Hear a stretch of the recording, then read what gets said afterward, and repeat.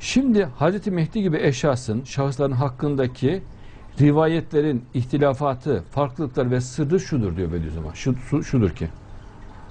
Sözler sayfa 359.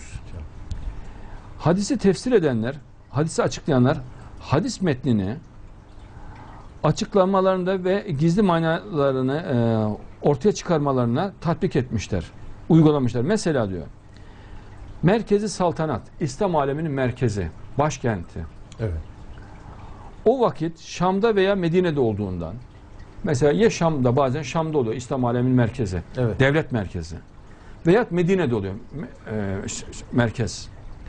Vukuatı Hazreti Mehdi'ye, Hazreti Mehdi olayının vuku bulmasını veya vukuatı Süfyaniye, Süfyan'ın zuhur etmesini,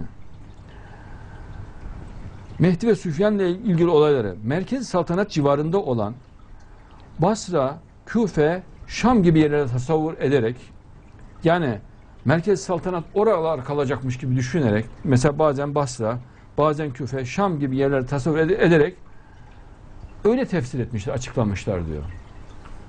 Ne demek istiyor burada? Evet. İslam aleminin son merkezi neredeyse Deccaliyette, Süfyaniyette oradan e, zuhur edecek. Evet. Efendim Mehdi'de, Hazreti İsa'da